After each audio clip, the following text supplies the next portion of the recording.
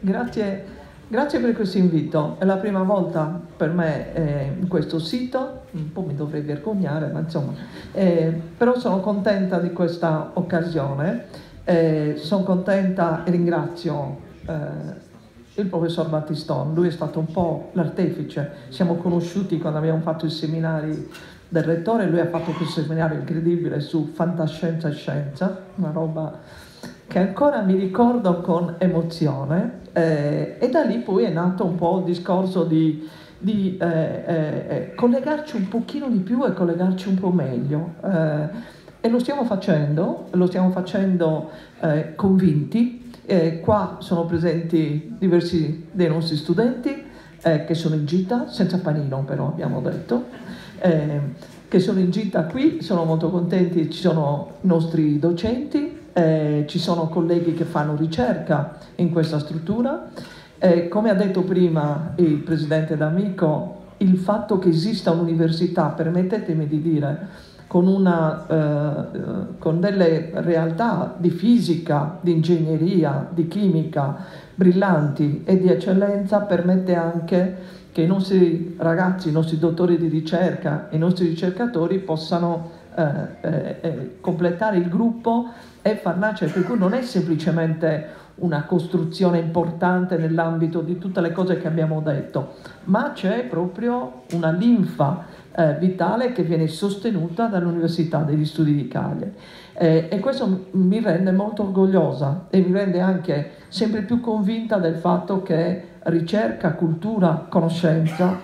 sono la base dello sviluppo. Eh, io dico anche un'altra cosa che mi è venuto in mente, poi so che in realtà è stata già affrontata dai sindaci del territorio e dal eh, direttore del centro, eh, che è quello di pensare a qualcosa di divulgativo. Scusate se io un po' scoccio sotto questo aspetto, però avere una ricaduta sul territorio eh, che possa essere anche più vicino a, ad una realtà no, dei comuni che ci sono intorno, perché questo è un sito che eh, pensato in un certo modo può essere non solo turismo scientifico, ma può essere anche una realtà di una uh, parte di un museo della scienza interattivo che ha a che fare con alcune componenti dove l'Ateneo può dare il suo contributo, credo anche l'ASI possa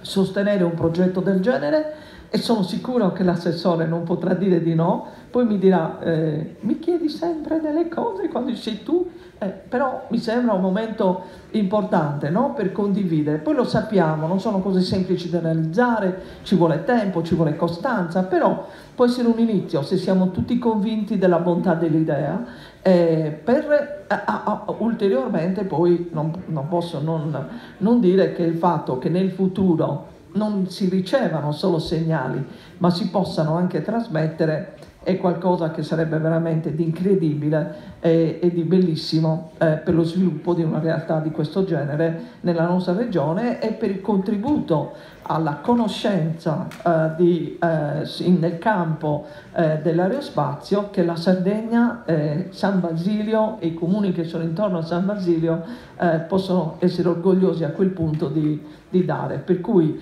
grazie per avermi invitato, grazie per questa occasione ed è semplicemente l'inizio eh, di un qualcosa che deve e può ancora crescere sia nel campo della scienza ma anche nel campo della ricaduta sul territorio. Grazie.